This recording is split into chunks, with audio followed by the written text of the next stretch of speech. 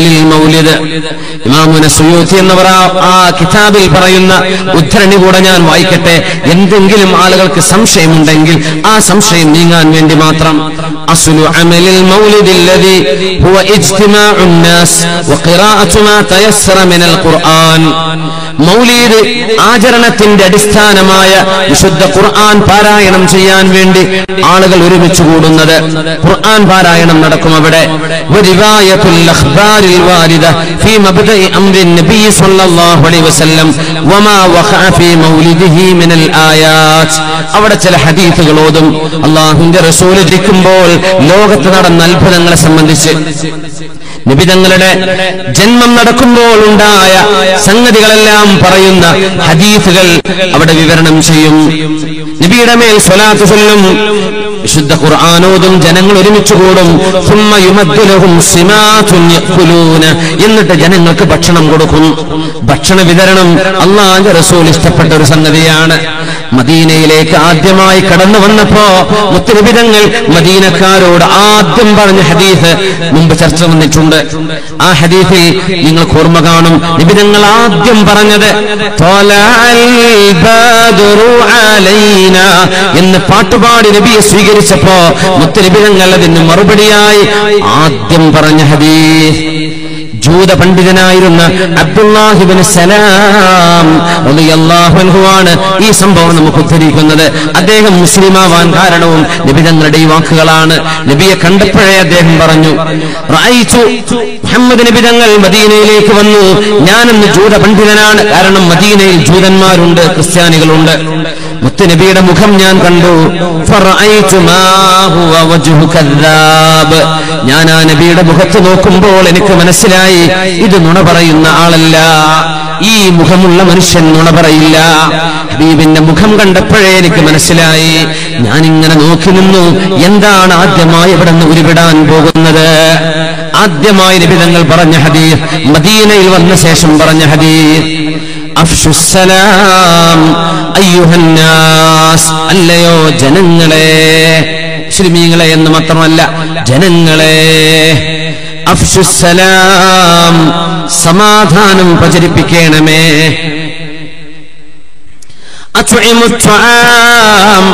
ഭക്ഷണം വിതരണം ചെയ്യണേ.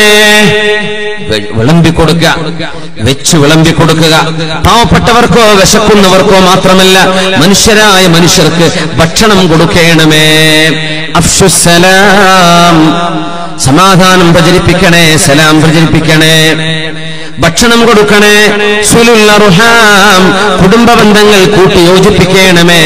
സ്വല്ലൂ ബില്ലൈലി വന്നാസു നിയാം.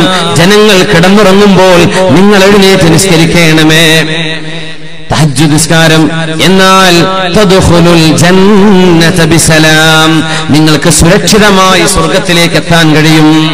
ഈ ഹദീസ് റിപ്പോർട്ട് ചെയ്തത് മഹാനായ അബ്ദുല്ലാഹിബ്നു സലാം ആ ഹദീഫിൽ രണ്ടാമത് നബി പറഞ്ഞ വാക്കെന്താണ്?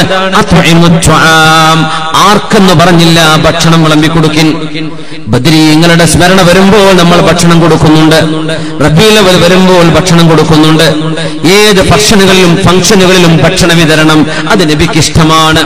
ഇമാം സുയ്യിദ് ഞങ്ങൾ പറയട്ടെ ഇങ്ങനെ നബിയുടെ മൗലിദിന്റെ സമയത്ത് ജന്മം നടന്ന സമയത്ത് നടന്ന അത്ഭുതങ്ങൾ പറയുകയും ഹദീസുകൾ ഓതുകയും സ്വലാത്ത് ചൊല്ലുകയും ഖുർആൻ ഓതുകയും ഭക്ഷണം കഴിച്ച് ജനങ്ങൾ പിരിഞ്ഞു പോവുകയും ചെയ്യുന്നു. മിൻ അലാ അള്ളാഹു ചാല അംഗീകരിക്കുകയും ഇഷ്ടപ്പെടുകയും ചെയ്യുന്ന ഈ നന്മകൾ ഈ നന്മകൾ ഇതിലേറെ ഇത് മാത്രം ചെയ്യുന്ന ഇതാണ് മൗലിദിന്റെ അടിസ്ഥാന കാര്യങ്ങൾ. ഇതിൽ അള്ളാഹു താല ഇഷ്ടപ്പെടാത്തത് ഒരിക്കലും എപ്പോഴും മൗലിദാവട്ടെ റബീലവലാവട്ടെ റമദാനാവട്ടെ നമുക്ക് ചെയ്യാൻ പാടുള്ളതല്ല. അള്ളാഹു ഇഷ്ടപ്പെടാത്തത് നമ്മൾ റോഡുകൾ ബ്ലോക്ക് ആക്കുന്നത് ഹബീബിന്റെ ഒരു നിബിദിന റാലി നടന്നു പോകുമ്പോ റോഡുകൾ ബ്ലോക്ക് ആക്കരുത് നിബിധങ്ങൾക്ക് ഇഷ്ടമല്ല. അതൊരു പക്ഷേ മർമ്മമായ ബിദാച്ചാണ് ഒഴിവാക്കേണ്ട കാര്യമാണ് നമ്മളത് ചെയ്യാൻ പാടില്ല. റോഡ് ബ്ലോക്ക് ആക്കാൻ പാടില്ല. മൗലിദിന്റെ സദസ്സുകൾ നമ്മൾ മൈക്കിലൂടെ ഉറക്ക വിളിച്ചു പറയുമ്പോ അയൽപക്കക്കാരായ ആളുകൾക്ക് ദിവസേന മാസം മുഴുവനും നമ്മുടെ പള്ളികളിൽ മൗലിദ് പാരായണം മൈക്കിലൂടെ ഉറക്ക വിടുമ്പോൾ ഒരുപക്ഷെ അയൽവാസികളായ ആളുകൾ മുസ്ലിങ്ങൾ അല്ലാത്തവർ കാണും. അവിടെ രോഗികളുണ്ടാകും ചെറിയ മക്കൾ കടന്നുറങ്ങുണ്ടാകും അവർക്ക് ബുദ്ധിമുട്ടാവും. അതുകൊണ്ട് പള്ളിയുടെ ഉള്ളിൽ കേൾക്കുന്ന മൈക്ക് ഉപയോഗിക്കുക. മഹാനായ പാണക്കാട് സയ്യിദ് ഹൈദർ അലി ഷിഹാബ് തങ്ങളവറുകൾ അങ്ങനെ ഒരു ആഹ്വാനം തന്നെ ചെയ്തിട്ടുണ്ട് തങ്ങളവറുകൾ. നിങ്ങളാരും നാട്ടുകാരെ ബുദ്ധിമുട്ടാക്കരുത്. നാട്ടുകാർക്ക് ബുദ്ധിമുട്ടുള്ള രീതിയിൽ മൈക്കിലൂടെ നമ്മുടെ സ്വലാത്തും ദിക്കറുകളും മൈക്കിൽ ഓപ്പൺ ആയിട്ട് നിങ്ങൾ വിടരുത്. കാരണം എത്രയോ ക്ഷമയോടുകൂടെ സഹനത്തോടുകൂടെ സഹിഷ്ണുതയോടുകൂടെ ജീവിക്കുന്ന ആളുകളാണ് നമ്മുടെ ചുറ്റുഭാഗത്തുമുള്ളത്. പ്രകോപനങ്ങൾ ഉണ്ടാക്കരുത്. അസ്വാരസ്യങ്ങൾ ഉണ്ടാക്കരുത്. ആ മൈക്കൊന്ന് ഓഫ് ചെയ്യുമോ എന്ന് ഏതെങ്കിലും ഒരു ഹൈന്ദവ സുഹൃത്ത് നമ്മളോട് അപേക്ഷിച്ചു കഴിഞ്ഞാൽ അതൊരു പക്ഷേ നമ്മുടെ ബന്ധങ്ങളിൽ വിടർച്ച വീഴും. അതുകൊണ്ട് നിങ്ങൾ അത്തരം പ്രവർത്തനങ്ങൾ ചെയ്യല്ല. ആളുകളെ ബുദ്ധിമുട്ടാക്കരുത്. നമ്മുടെ നബിക്കും ആരെയും ബുദ്ധിമുട്ടാക്കൽ ഇഷ്ടമായിരുന്നില്ലല്ലോ. ഇങ്ങനെ ചെയ്യുന്ന ഇത്തരം കൺകാര്യങ്ങൾ മിനൽ ഹസന. ഇമാം സുയൂത്ത് തങ്ങൾ പറയുന്നു ഇത് നല്ല ബിദഅത്തുകളാണ്.